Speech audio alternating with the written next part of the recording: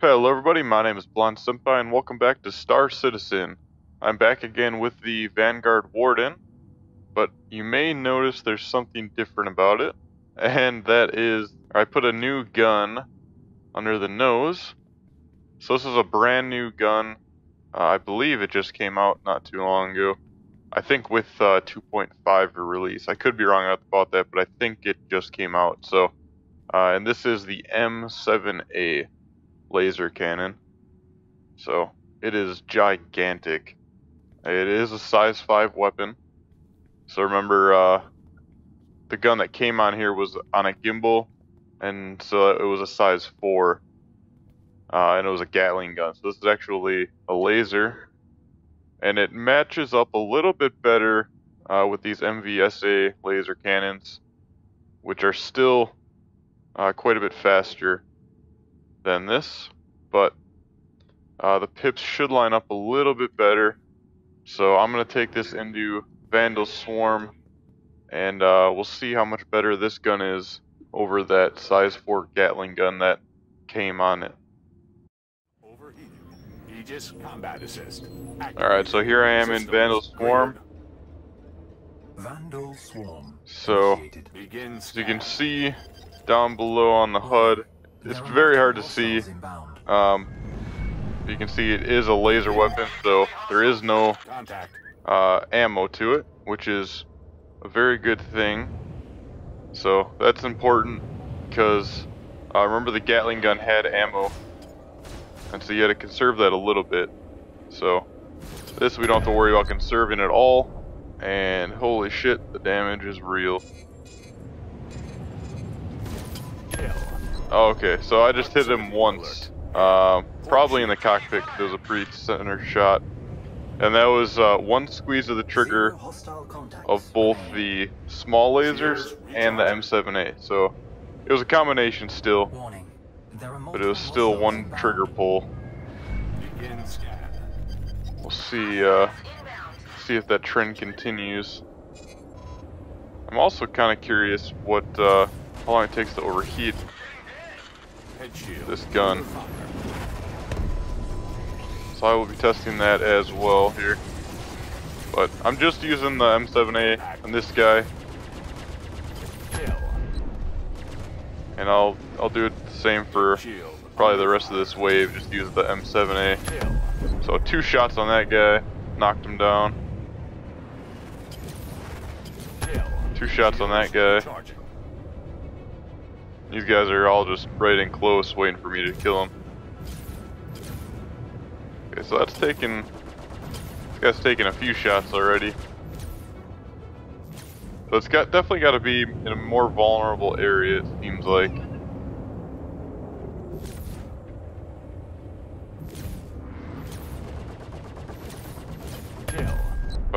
But all right, so I took him out as well. Zero hostile contacts. I'm already on wave three, so this is going by pretty quick here.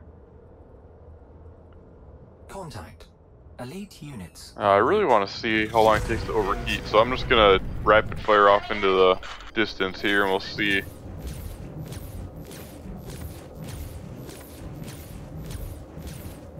Looks like on my HUD it's just barely starting to get some heat into it now.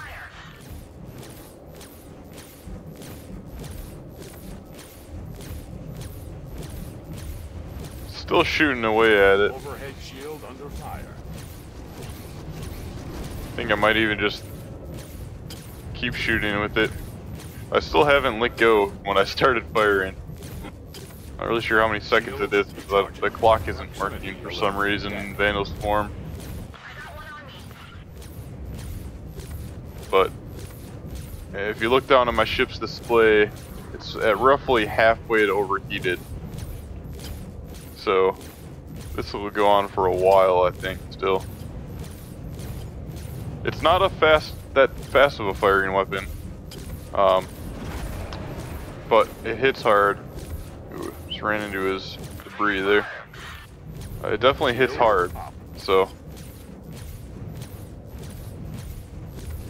and with a combination of this with the small lasers, should be pretty deadly.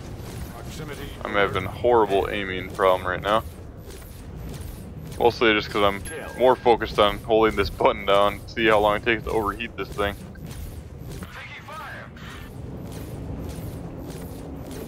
It is still going. There we go. Just now I got the warning, so that's pretty crazy. Uh, we'll see how fast it goes down.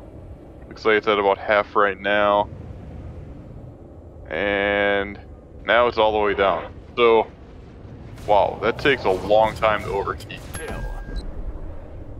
That's pretty crazy. I'm not sure if uh, this gun is going to need some tweaking. It seems like it might be a little overpowered right now. Considering it takes that long to overheat. And uh, as strong as it is, uh, the only gun I believe that does more damage to it in the size 5 category is the Wrath Cannon, uh, which is on the Glaive. And I think it might be on the Scythe, but it's definitely on the Glaive. It's the two that are on the wings. Um, those are Wrath Cannons. I think those are the only size 5s that are stronger than the M7A. So, it is insanely strong weapon. Uh, and remember, the Wrath Cannon also overheated somewhat quickly. Yeah, I mean, the pips are definitely Spread apart a little bit.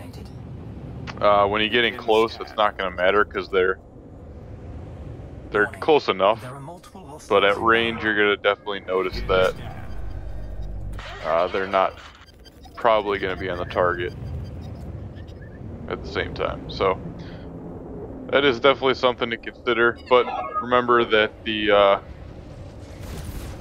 The Gatling gun was even further apart. So at least this is starting to get close. Kill. Shields recharging. And this is definitely more usable, I would say. Alert. Port. Kill. Uh, it definitely does a lot more damage than the Gatling gun did. So I remember firing on a target for quite a while with the Gatling gun, tucked it in a kill. But this this gun, it seems like I, I'm not really gonna have to fire that much as long as I hit him in a vulnerable spot. And with the little lasers, it's just not gonna take long at all, regardless of where I hit them. I think it's pretty clear that M7A is a pretty crazy gun. It seems like this particular loadout um, there's a couple different ways you can go about it. You can either keep rapid fire with the small lasers, and then just every once in a while, when you know you have the target in sights, uh, and the pip is on them, you can pull the M7A. Um, or you can just fire. Proximity single shot both, or uh, all the guns at once, That seems to work as well. Like that. This definitely seems to suit the Vanguard Warden pretty well, though. Definitely, uh, Definitely a better loadout than the stock. That is for sure. Port shield under fire. Kill. And it's pretty fun. Shields. Shoot, my shields are going down a little bit now. Wasn't really dodging fire too much, but yeah, this uh, this damage is pretty crazy. remaining. So we got wave six here, so Contact. Try to get at the Elite unit right away. Oh, he spawned pretty close to me too. Under fire. Shields recharging. Shields recharging. So this is using all my weapons, but he is not doing good already. Rear shield under fire. I'm not doing good either, so we'll see if I can kill him first.